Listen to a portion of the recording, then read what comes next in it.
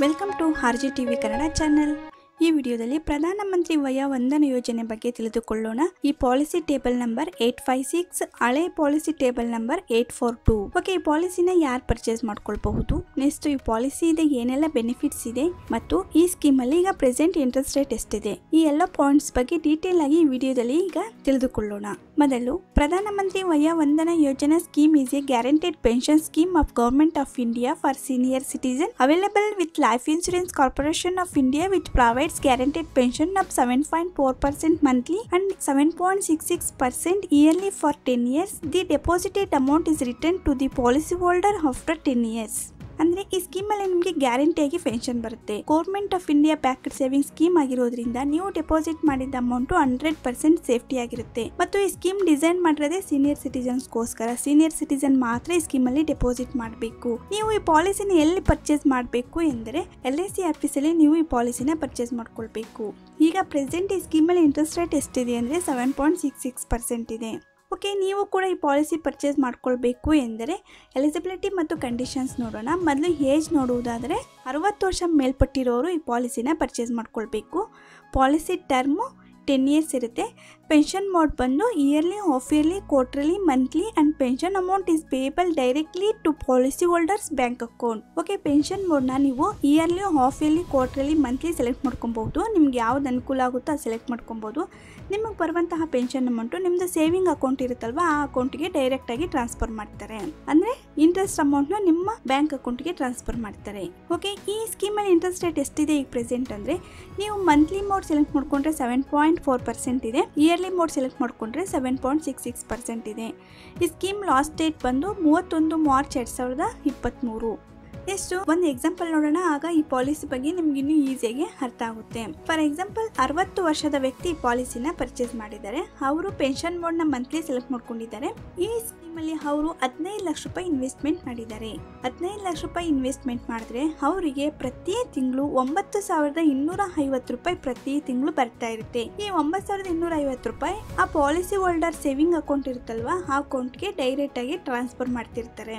ಎಷ್ಟು ವರ್ಷ ಬರುತ್ತೆ ಅಂದ್ರೆ ಈ ಪಾಲಿಸಿ ಟರ್ಮ್ ಟೆನ್ ಇಯರ್ಸ್ ಅಲ್ವಾ? ಹತ್ತು ವರ್ಷ, ಪ್ರತಿ ತಿಂಗಳು ಒಂಬತ್ತು ಸಾವಿರದ ಇನ್ನೂರ ಐವತ್ತು ರೂಪಾಯಿ ಆ ಪಾಲಿಸಿ ಹೋಲ್ಡರ್ ಅಕೌಂಟ್ಗೆ ಟ್ರಾನ್ಸ್ಫರ್ ಮಾಡ್ತಾರೆ. ಹತ್ತು ವರ್ಷ ಕಂಪ್ಲೀಟ್ ಆದ್ಮೇಲೆ ಅವರು ಡೆಪಾಸಿಟ್ ಮಾಡಿದ ಹದಿನೈದು ಲಕ್ಷ ರೂಪಾಯಿ ಅವರಿಗೆ ವಾಪಸ್ ಮಾಡ್ತಾರೆ. ಓಕೆ ಈ ಟೇಬಲ್ ನೋಡಿ ಅವಾಗ ನಿಮ್ಗೆ ಇನ್ನೂ ಈಸಿಯಾಗಿ ಅರ್ಥ ಆಗುತ್ತೆ. ಮಿನಿಮಮ್ ಎಷ್ಟು ಡೆಪಾಸಿಟ್ ಮಾಡಬೇಕು? ಈ ಸ್ಕೀಮಲ್ಲಿ ಮ್ಯಾಕ್ಸಿಮಮ್ ಎಷ್ಟು ಡೆಪಾಸಿಟ್ ಮಾಡಬೇಕು ಎಂಬುದರ ಬಗ್ಗೆ ಈಗ ನೋಡೋಣ. ನೀವು ಮಿನಿಮಮ್ ಒಂದು ಲಕ್ಷದ ಅರವತ್ತೆರಡು ಸಾವಿರದ ನೂರ ಅರವತ್ತೊಂದು ರೂಪಾಯಿ ಡೆಪಾಸಿಟ್ ಮಾಡಿದ್ರೆ, ನೀವು ಪೆನ್ಷನ್ ಮೋಡ್ ಮಂತ್ಲಿ ಸೆಲೆಕ್ಟ್ ಮಾಡ್ಕೊಂಡ್ರೆ ನಿಮಗೆ ಪ್ರತಿ ತಿಂಗಳು ಸಾವಿರ ರೂಪಾಯಿ ಅಂತ ಇಂಟ್ರೆಸ್ಟ್ ಅಮೌಂಟ್ ಬರುತ್ತೆ. ಈ ಸಾವಿರ ರೂಪಾಯಿ ನಿಮ್ಮ ಸೇವಿಂಗ್ ಅಕೌಂಟ್ಗೆ ಟ್ರಾನ್ಸ್ಫರ್ ಮಾಡ್ತಾರೆ. ಅಥವಾ ನೀವು ಕ್ವಾರ್ಟರ್ಲಿ ಮೋಡ್ ಸೆಲೆಕ್ಟ್ ಮಾಡ್ಕೊಂಡ್ರೆ, ಆಗ ನೀವು ಒಂದು ಲಕ್ಷದ ಅರವತ್ತೊಂದು ಸಾವಿರದ ಎಪ್ಪತ್ನಾಲ್ಕು ರೂಪಾಯಿ ಡೆಪಾಸಿಟ್ ಮಾಡಬೇಕು. ಆಗ ಮೂರು ಸಾವಿರ ರೂಪಾಯಿ ಇಂಟ್ರೆಸ್ಟ್ ಅಮೌಂಟ್ ಬರುತ್ತೆ. ಅಥವಾ ನೀವು ಆಫ್ ಇಯರ್ಲಿ ಮೋಡ್ ಸೆಲೆಕ್ಟ್ ಮಾಡ್ಕೊಂಡ್ರೆ ಆಗ ಒಂದು ಲಕ್ಷದ ಐವತ್ತೊಂಬತ್ತು ಸಾವಿರದ ಐನೂರ ಎಪ್ಪತ್ನಾಲ್ಕು ರೂಪಾಯಿ ಡೆಪಾಸಿಟ್ ಮಾಡಬೇಕು. ಆಗ ನಿಮ್ಗೆ ಇಂಟ್ರೆಸ್ಟ್ ಅಮೌಂಟ್ ಆರು ಸಾವಿರ ರೂಪಾಯಿ ಬರುತ್ತೆ. ಅಥವಾ ಇಯರ್ಲಿ ಮೋಡ್ ಸೆಲೆಕ್ಟ್ ಮಾಡ್ಕೊಂಡ್ರೆ ಆಗ ನೀವು ಒಂದು ಲಕ್ಷದ ಐವತ್ತಾರು ಸಾವಿರದ ಆರ್ನೂರ ಐವತ್ತೆಂಟು ರೂಪಾಯಿ ಡೆಪಾಸಿಟ್ ಮಾಡಬೇಕು. ಆಗ ನಿಮ್ಗೆ ವರ್ಷಕ್ಕೆ ಒಂದ್ಸಲಿ ಹನ್ನೆರಡು ಸಾವಿರ ರೂಪಾಯಿ ಇಂಟ್ರೆಸ್ಟ್ ಅಮೌಂಟ್ ಬರುತ್ತೆ. ಈ ಹನ್ನೆರಡು ಸಾವಿರ ರೂಪಾಯಿ ನಿಮ್ಮ ಸೇವಿಂಗ್ ಅಕೌಂಟ್ಗೆ ಟ್ರಾನ್ಸ್ಫರ್ ಮಾಡ್ತಾರೆ. ನೆಕ್ಸ್ಟ್ ಮ್ಯಾಕ್ಸಿಮಮ್ ಈ ಸ್ಕೀಮಲ್ಲಿ ಎಷ್ಟು ಡೆಪಾಸಿಟ್ ಮಾಡಬಹುದು ಎಂದರೆ ಹದಿನೈದು ಲಕ್ಷ ರೂಪಾಯಿ ಮ್ಯಾಕ್ಸಿಮಮ್ ಡೆಪಾಸಿಟ್ ಮಾಡಬಹುದು. ನೀವು ಹದಿನೈದು ಲಕ್ಷ ರೂಪಾಯಿ ಡೆಪಾಸಿಟ್ ಮಾಡಿದ್ರೆ ಮಂತ್ಲಿ ಮೋಡ್ ಸೆಲೆಕ್ಟ್ ಮಾಡ್ಕೊಂಡ್ರೆ ನಿಮಗೆ ಪ್ರತಿ ತಿಂಗಳು ಒಂಬತ್ತು ಸಾವಿರದ ಇನ್ನೂರ ಐವತ್ತು ರೂಪಾಯಿ ಬರುತ್ತೆ. ಅಥವಾ ನೀವು ಕ್ವಾರ್ಟರ್ಲಿ ಮೋಡ್ ಸೆಲೆಕ್ಟ್ ಮಾಡ್ಕೊಂಡ್ರೆ ಆಗ ಹದಿನಾಲ್ಕು ಲಕ್ಷದ ಎಂಬತ್ತೊಂಬತ್ತು ಸಾವಿರದ ಒಂಬೈನೂರ ತೊಂಬತ್ಮೂರು ರೂಪಾಯಿ ಡೆಪಾಸಿಟ್ ಮಾಡಬೇಕು. ಆಗ ನಿಮಗೆ ಇಪ್ಪತ್ತೇಳು ಸಾವಿರದ ಏಳ್ನೂರ ಐವತ್ತು ರೂಪಾಯಿ ಇಂಟ್ರೆಸ್ಟ್ ಅಮೌಂಟ್ ಬರುತ್ತೆ. ಅಥವಾ ನೀವು ಹಾಫ್ ಇಯರ್ಲಿ ಸೆಲೆಕ್ಟ್ ಮಾಡಿಕೊಂಡ್ರೆ ಹದಿನಾಲ್ಕು ಲಕ್ಷದ ಎಪ್ಪತ್ತಾರು ಸಾವಿರದ ಅರವತ್ನಾಲ್ಕು ರೂಪಾಯಿ ಡೆಪಾಸಿಟ್ ಮಾಡಬೇಕು. ಆಗ ನಿಮ್ಗೆ ಐವತ್ತೈದು ಸಾವಿರದ ಐನೂರು ರೂಪಾಯಿ ಇಂಟ್ರೆಸ್ಟ್ ಅಮೌಂಟ್ ಬರುತ್ತೆ. ಈ ಐವತ್ತೈದು ಸಾವಿರದ ಐನೂರು ರೂಪಾಯಿ ನಿಮ್ಮ ಅಕೌಂಟ್ಗೆ ಟ್ರಾನ್ಸ್ಫರ್ ಮಾಡ್ತಾರೆ. ಅಥವಾ ಇಯರ್ಲಿ ಮಾಡಿ ಸೆಲೆಕ್ಟ್ ಮಾಡ್ಕೊಂಡ್ರೆ ನೀವು ಹದಿನಾಲ್ಕು ಲಕ್ಷದ ನಲವತ್ತೊಂಬತ್ತು ಸಾವಿರದ ಎಂಬತ್ತಾರು ರೂಪಾಯಿ ಡೆಪಾಸಿಟ್ ಮಾಡಬೇಕು. ಆಗ ನಿಮ್ಗೆ ಇಂಟ್ರೆಸ್ಟ್ ಎಷ್ಟು ಬರುತ್ತೆ ಅಂದರೆ ಒಂದು ಲಕ್ಷದ ಹನ್ನೊಂದು ಸಾವಿರ ರೂಪಾಯಿ ಬರುತ್ತೆ.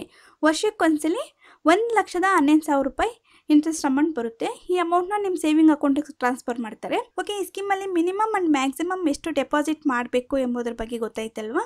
ಓಕೆ ಈ ಪಾಲಿಸಿ ಬೆನಿಫಿಟ್ಸ್ ಬಗ್ಗೆ ತಿಳಿದುಕೊಳ್ಳೋಣ. ಮೊದಲು ಡೆತ್ ಬೆನಿಫಿಟ್ ನೋಡೋಣ. In case of death during ten years policy term the purchase price will be return nominee of the policy holder and policy will get closed ಅಂದರೆ ಈ ಪಾಲಿಸಿ ಟರ್ಮ್ ಬಂದ್ಬಿಟ್ಟು ಹತ್ತು ವರ್ಷ ಅಲ್ವಾ? ಹತ್ತು ವರ್ಷಕ್ಕಿಂತ ಮುಂಚೆ ಏನಾದರೂ ಪಾಲಿಸಿ ಹೋಲ್ಡರ್ ಡೆತ್ ಆದರೆ, ಆಗ ಅವರು ಡೆಪಾಸಿಟ್ ಮಾಡಿದ ಅಮೌಂಟು ಆ ಪಾಲಿಸಿ ಹೋಲ್ಡರ್ ನಾಮಿನಿ ಇರ್ತಾರಲ್ವಾ? ಅವ್ರಿಗೆ ವಾಪಸ್ ಮಾಡ್ತಾರೆ ಮತ್ತು ಅಕೌಂಟ್ನ ಕ್ಲೋಸ್ ಮಾಡ್ತಾರೆ. Okay next pension payment policy holder will get guaranteed pension for the ten years okay ಹತ್ತು ವರ್ಷ ಕೂಡ ಪಾಲಿಸಿ ಹೋಲ್ಡರ್ ಪೆನ್ಷನ್ ತೆಗೆದುಕೊಳ್ಬಹುದು. ಮೆಚುರಿಟಿ ಬೆನಿಫಿಟ್ಸ್ ನೋಡಿ, ಈ ಪಾಲಿಸಿ ಟರ್ಮ್ ಬಂದ್ಬಿಟ್ಟು ಹತ್ತು ವರ್ಷ ಅಲ್ವಾ? ಹತ್ತು ವರ್ಷ ಕಂಪ್ಲೀಟ್ ಆದಮೇಲೆ ಅವರು ಡೆಪಾಸಿಟ್ ಮಾಡಿದ ಅಮೌಂಟು ಪ್ಲಸ್ ಅದಕ್ಕೇನು ಲಾಸ್ಟ್ ಮಂತ್ ಪೆನ್ಷನ್ ಬರುತ್ತಲ್ವ, ಅದನ್ನು ಸೇರಿಸ್ಬಿಟ್ಟು ಪಾಲಿಸಿ ಹೋಲ್ಡರ್ಗೆ ಕೊಡ್ತಾರೆ. ನೆಕ್ಸ್ಟು ಅಕೌಂಟ್ನ ಕ್ಲೋಸ್ ಮಾಡ್ತಾರೆ. ನೆಕ್ಸ್ಟು ಲೋನ್ ಫೆಸಿಲಿಟಿ ಕೂಡ ಇದೆ ಈ ಪಾಲಿಸಿಲಿ. ಅಂದರೆ ನೀವು ಪಾಲಿಸಿ ಪರ್ಚೇಸ್ ಮಾಡಿ ಆಫ್ಟರ್ ತ್ರೀ ಇಯರ್ಸ್ ಆದಮೇಲೆ ಬೇಕಾದ್ರೆ ಲೋನ್ಗೆ ಅಪ್ಲೈ ಮಾಡ್ಕೊಳ್ಬಹುದು. ನಿಮಗೆ ಸೆವೆಂಟಿ ಫೈವ್ ಪರ್ಸೆಂಟಷ್ಟು ಲೋನ್ ಸಿಗುತ್ತೆ. Next surrender value. ನೋಡಿ, ಈ ಪಾಲಿಸಿ ಪರ್ಚೇಸ್ ಮಾಡಿದ ಪಾಲಿಸಿ ಹೋಲ್ಡರ್ಗಾಗಲಿ ಅಥವಾ ಆ ಪಾಲಿಸಿ ಹೋಲ್ಡರ್ ವೈಫ್ಗಾಗಲಿ ಏನಾದರೂ ಕ್ರಿಟಿಕಲ್ ಇಲ್ನೆಸ್ ಇದ್ದರೆ ಮಾತ್ರ ಪಾಲಿಸಿನ ಸರೆಂಡರ್ ಮಾಡಬೇಕಾಗುತ್ತೆ. ಆಗ ಅವರು ಡೆಪಾಸಿಟ್ ಮಾಡಿದ ಅಮೌಂಟಲ್ಲಿ ನೈಂಟಿ ಏಯ್ಟ್ ಪರ್ಸೆಂಟ್ ಮಾತ್ರ ವಾಪಸ್ ಕೊಡ್ತಾರೆ. ಓಕೆ? ಓಕೆ ಫ್ರೆಂಡ್ಸ್, ಪ್ರಧಾನಮಂತ್ರಿ ವಯ ವಂದನೆ ಯೋಜನೆ ಬಗ್ಗೆ ಗೊತ್ತಾಯ್ತಲ್ವಾ? ನಿಮಗೆ ಈ ಸ್ಕೀಮ್ ಬಗ್ಗೆ ಏನಾದರೂ ಡೌಟ್ಸ್ ಇದ್ರೂ ಕೂಡ ಕಮೆಂಟ್ ಬಾಕ್ಸಲ್ಲಿ ಕಮೆಂಟ್ ಮಾಡಿ ನಾನು ರಿಪ್ಲೈ ಮಾಡ್ತೀನಿ. ಮತ್ತು ಈ ವಿಡಿಯೋ ಈ ಮಾಹಿತಿ ನಿಮಗೆ ಇಷ್ಟವಾಗಿದ್ರೆ ಲೈಕ್ ಮಾಡಿ, ಶೇರ್ ಮಾಡಿ. ಇನ್ನು ಹೆಚ್ಚಿನ ಮಾಹಿತಿಗಾಗಿ ನಮ್ಮ ಚಾನಲ್ಗೆ ಸಬ್ಸ್ಕ್ರೈಬ್ ಆಗಿ. Thanks for watching